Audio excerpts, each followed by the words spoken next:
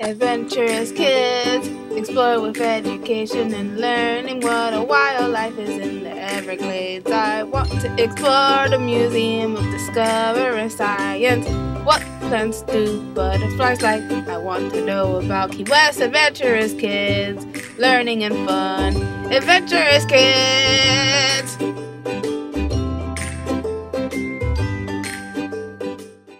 Today I'm going to tell you about blood glucose meters. A blood glucose meter, also known as a glucometer, measures the amount of glucose in your body by analyzing a drop of blood on a test strip.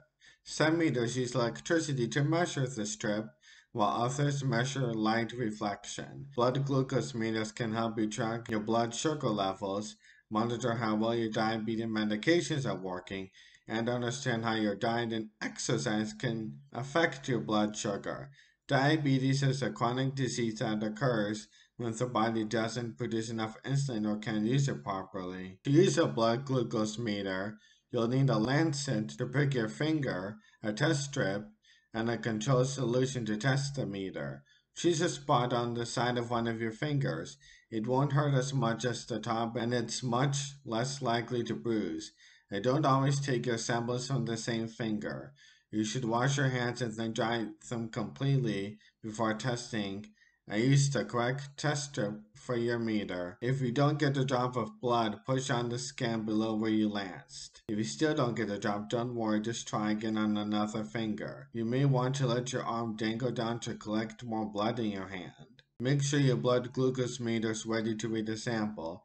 Then place the drop of blood on a test strip into the meter. The meter displays the blood sugar level on the screen within seconds. Some blood glucose meters can record hundreds of different readings. Your doctor will probably tell you to record your reading, along with the date, time, and any other useful information.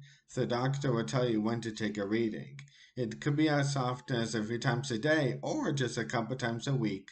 You should carefully go over how your blood glucose meter works with your doctor and parents. Your test results may be less accurate if you are dehydrated, have low red blood cell count, or taking certain medications. You should protect your meter and test strips from extreme temperatures and humidity. Test strips should be stored in their original bottle in a dry place at room temperature away from light.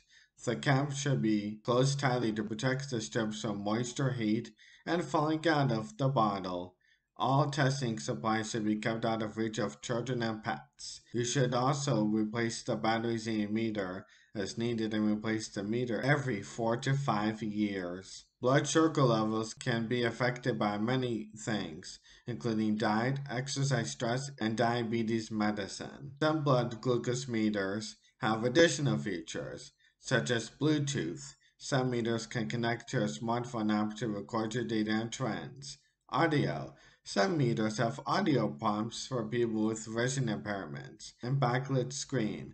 Some meters have backlit screens to make it easier to read in low light. Thank you for watching this episode of Adventurous Kids. What did you learn today? Adventurous kids. Adventurous kids